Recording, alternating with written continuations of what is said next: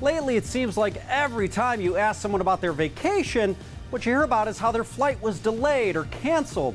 Between worker shortages and a record number of people flying, many airlines are warning that the problem could get even worse. To protect yourself when traveling, you need to know your passenger rights. And that's our featured story at the top of the list.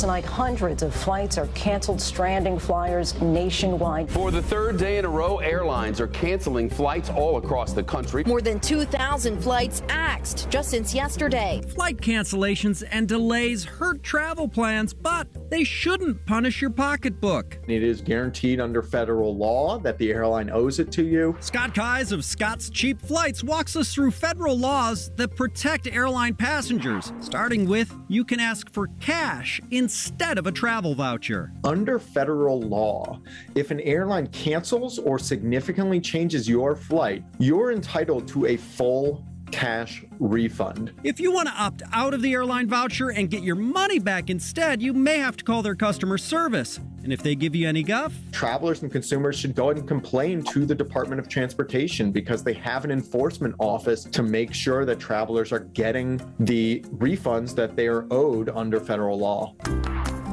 Next on our list of passenger rights, if you're involuntarily delayed for more than two hours, you're getting paid. When you get bumped against your will, you're entitled to up to $1,550 in cash refund. And for a one to two hour involuntary bump, customers can get up to 775 bucks by law. That's less of a maximum and more of a minimum these days in terms of compensation. In Michigan, Delta Airlines recently offered $10,000 to eight passengers each who were willing to take a voluntary bump. Be the eager beaver, get to the front of the line, but declare that you would like to be given a voucher for the same amount as whoever the last volunteer is. Willis Orlando, a senior flight expert with Scott's Cheap Flights, says if you get bumped, don't stop with money, shoot for the sky. Ask for other things that they might be able to give you, such as lounge access, maybe an upgrade on your next flight, or request that they put you up in a hotel. Same thing with meals. Request meal, meal vouchers. Very often the airlines will be happy to give you a meal voucher.